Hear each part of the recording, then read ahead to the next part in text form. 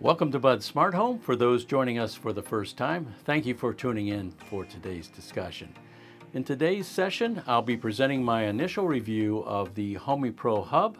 I've had the privilege of receiving the Homey Pro Hub, the Ethernet adapter, and a Fibaro door and window sensor from the generous folks at Homey.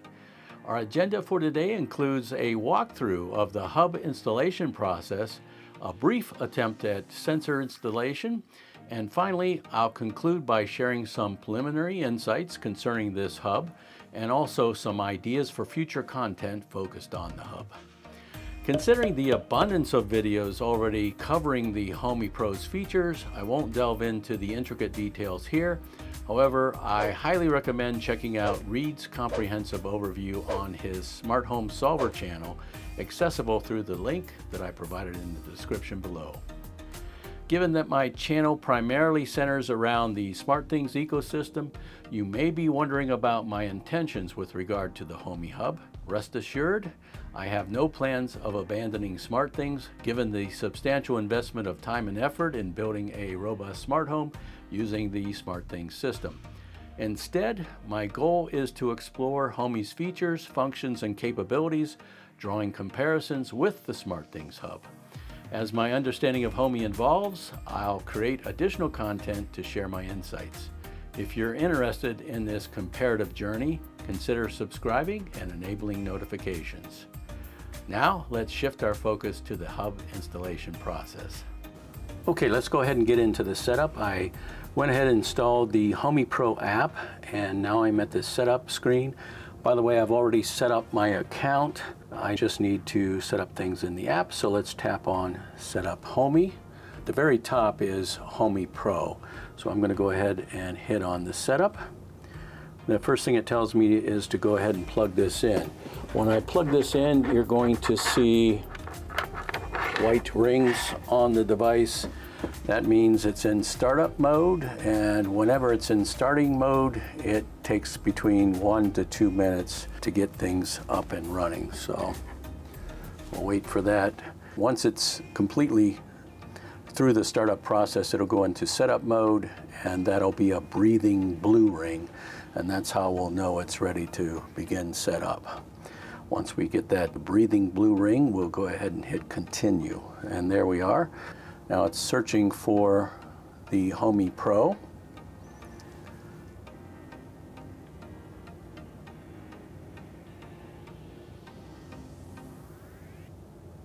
The green ring here means that it found Homey Pro. Now it's scanning for Wi-Fi networks. Okay, and I'll select the appropriate network and I'll enter my password and we'll be right back with you here.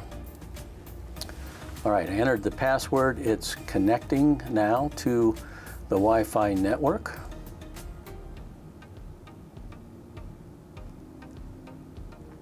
Once it's connected, you should see a spectrum ring.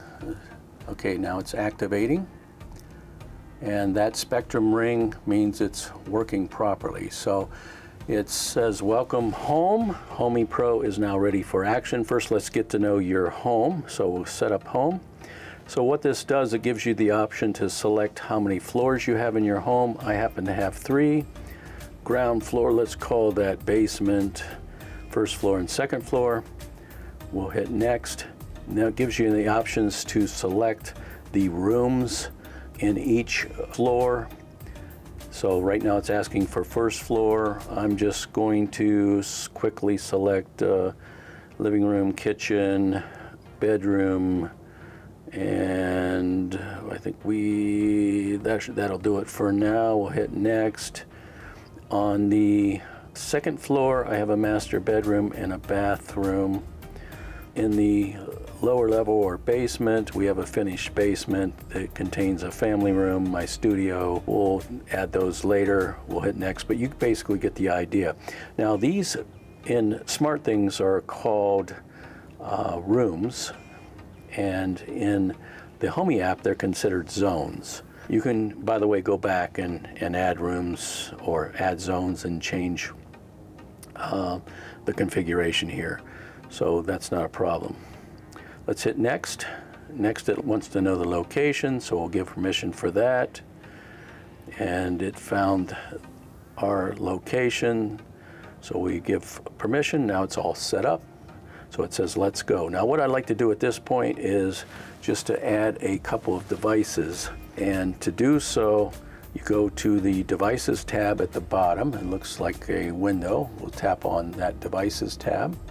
So just like in SmartThings, the plus sign at the top, or you can see the, the button there for connecting device.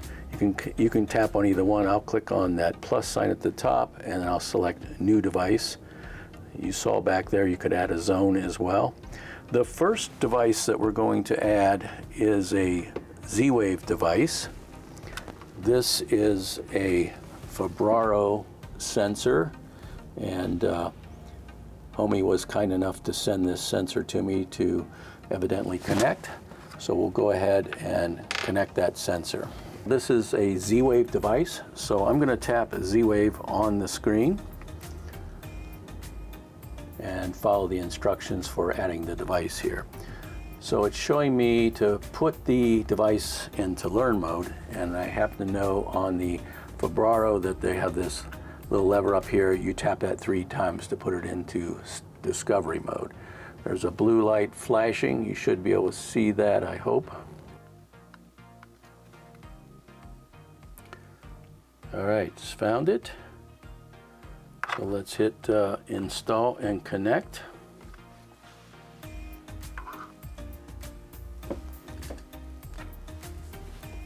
So there you see the device. Let's go ahead and put the second part on there.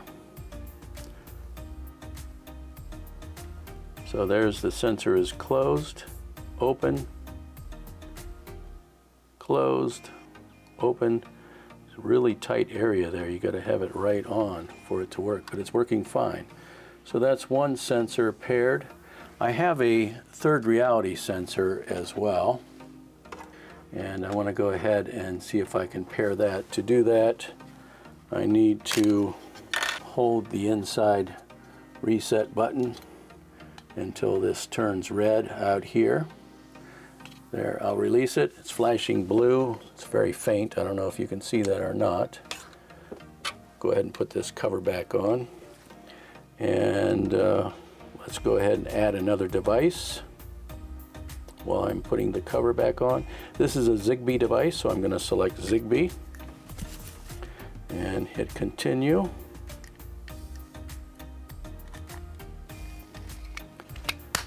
Device is already being added. That's pretty impressive. All right, it found the uh, third reality contact sensor. We'll hit install and connect. And it appears to be all set up. Let's try this sensor. I know this one you have to pull considerable distance away. So that one's called contact sensor. The other one's door window sensor 2. So both sensors are connected and working fine. And uh, so the last thing I want to show you in, in this particular introduction video is uh, how to connect it to the Miss A or what I call Alexia app. So I have um, Echo devices. So you go into your Amazon app, you search for Homey Pro, you'll find this Homey Pro skill you simply enable to use. So it's linking the account. I've already set this up in here so it's found my Bud Smart Home account. Then it just, we need to give permission so we're gonna hit allow. Once it's linked, it's going to start looking for devices and hopefully it'll find the two devices I just added. It found a window, door window sensor 2 and connected that. It's considering that sensor as a temperature sensor for some reason. So we're not going to be able to see the open close status on that. We'll skip the room setup in here. So it did find the Fibaro door window sensor and it's showing up in here as unavailable. So I'm not sure why that, that's the case, but We'll be able to do further testing down the road here and we'll see if we can add additional accessories and uh, compare that to pairing devices with SmartThings. Now, upon experimenting with the Amazon app, I realized that the contact sensors weren't recognized by the app due to the app's limited capability with specific smart devices. This resulted in the Fibaro sensor displaying as a temperature sensor only and not as a contact sensor. The Amazon app did eventually display a temperature reading, although it was not an accurate reading. However, the temperature displayed in the Homey app is accurate. After the recorded session, I added this third reality Zigbee nightlight to the Homey Hub.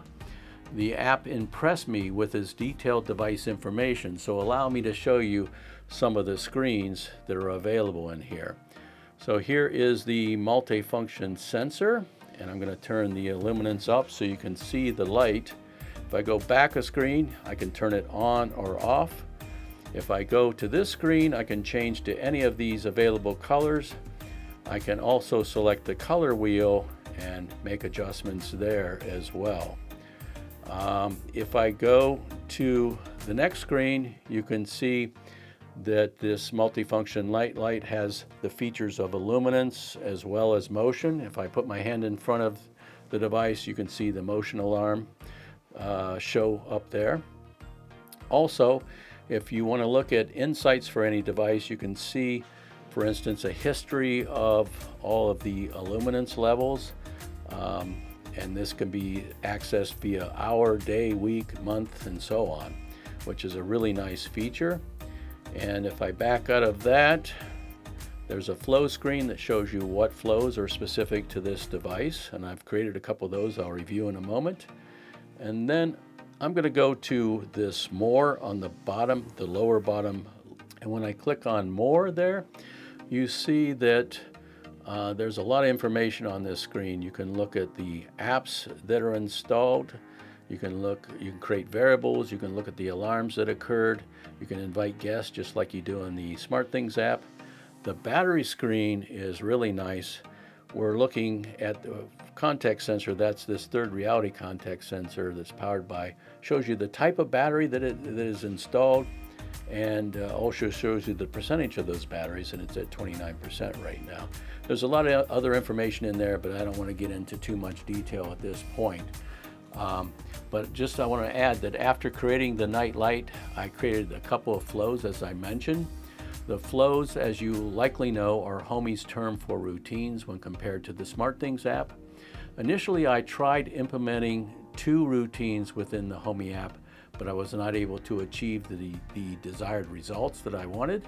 I then opted for the advanced flow feature, which must be accessed via a PC or a Mac. I designed the flows that you're seeing now to activate the third reality nightlight after each contact sensor is open, and then turn off the nightlight when each contact sensor is closed. Additionally, I programmed the RGB nightlight to turn green when the Fibaro sensor is open and red when the third reality sensor is open. Let me demonstrate. So there is the Fibaro sensor.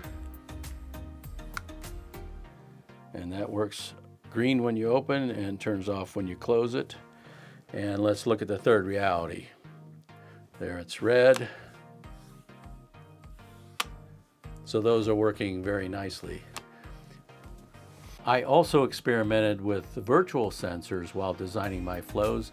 In doing so, I uncovered a limitation with regard to the Amazon app. Stay tuned for a future episode where I'll guide you through the process of setting up these virtual sensors within Homey, and I'll tell you a little bit more about this uh, shortcoming that I discovered. Speaking of future episodes, I learned that Homey Pro can integrate with certain IP cameras. I'm eager to explore this by attempting to integrate my Amcrest cameras. If successful, I'll produce content demonstrating how to incorporate your PoE cameras into the app. Additionally, I have a complex routine for my SmartWings outdoor shades requiring the use of SharpTools along with SmartThings. I plan to investigate if I can execute the entire routine within the Homey app, taking into account factors such as time of day, cloud cover, wind levels, and freezing temperatures. These are just a couple of the ideas for upcoming episodes. I'm certain more will emerge as I delve deeper into Homey's capabilities. So that wraps up today's episode. I must say, I'm genuinely impressed with the Homey app thus far, and I'm eager to explore its capabilities further. Don't forget to enable those notifications so you don't miss out. Until next time, stay smart and stay connected. This is the future.